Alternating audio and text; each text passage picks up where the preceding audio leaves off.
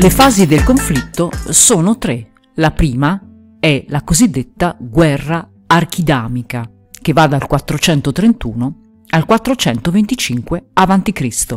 Qual è la strategia di Pericle per mettere in difficoltà gli Spartani? Innanzitutto una serie di incursioni per mare nel Peloponneso e poi l'evacuazione delle campagne e il trasferimento della popolazione all'interno delle mura di Atene.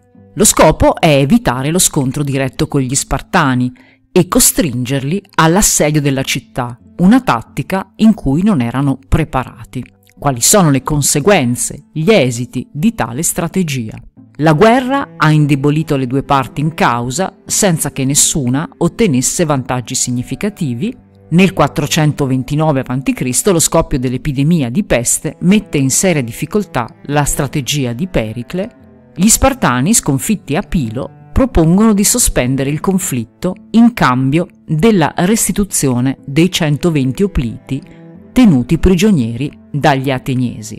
Si giunge così alla pace di Nicia, dal nome dell'aristocratico ateniese che l'aveva promossa nel 421 a.C.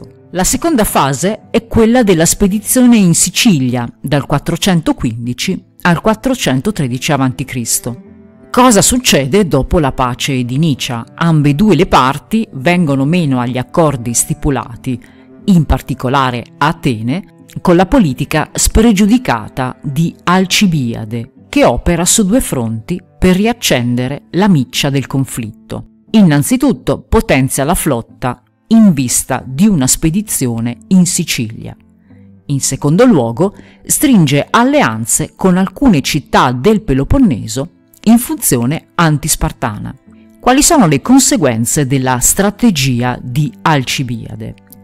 Sparta viola la tregua ristabilendo la propria influenza sul Peloponneso e Atene a sua volta rompe la tregua con due iniziative offensive. La prima è la spedizione in Sicilia nel 415 a.C.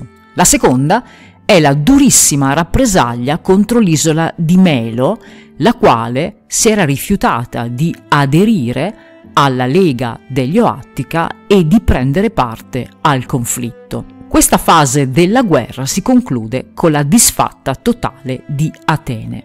Rimasti privi della guida di Alcibiade, vittima di un complotto nel 413 a.C., gli ateniesi subiscono una durissima sconfitta da parte dei siracusani, forti dell'appoggio militare di Sparta e della Lega Peloponnesiaca. La terza fase del conflitto è la cosiddetta guerra deceleica, dal nome della fortezza di Decelea occupata dagli Spartani. Dopo la disfatta in Sicilia, Atene è fortemente indebolita. Viene meno il sostegno militare e economico della Lega Delio-Attica. La polis subisce l'assedio di Sparta che approfitta della situazione di grave emergenza e crisi.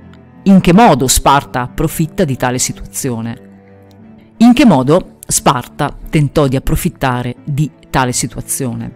Innanzitutto, cinse d'assedio la polis di Decelea che si trovava a pochi chilometri di distanza da Atene. Stipola poi un patto con la Persia per ottenere navi in cambio del controllo sulle poleis greche in Asia Minore. Sul piano politico impone nel 411 ad Atene un regime oligarchico, il cosiddetto Consiglio dei 400. Il conflitto riprende nel 410 con la destituzione del Consiglio dei 400 e il ripristino della democrazia. La flotta ateniese viene distrutta a Egospotami nel 405 a.C., prima ancora dell'inizio della battaglia. Infine, nel 404, dopo un lungo assedio da parte dell'esercito spartano, Atene è costretta alla resa. Well, that's all, folks. That's my line. Step aside, babe. Let a star do this. That's all! That's all, folks.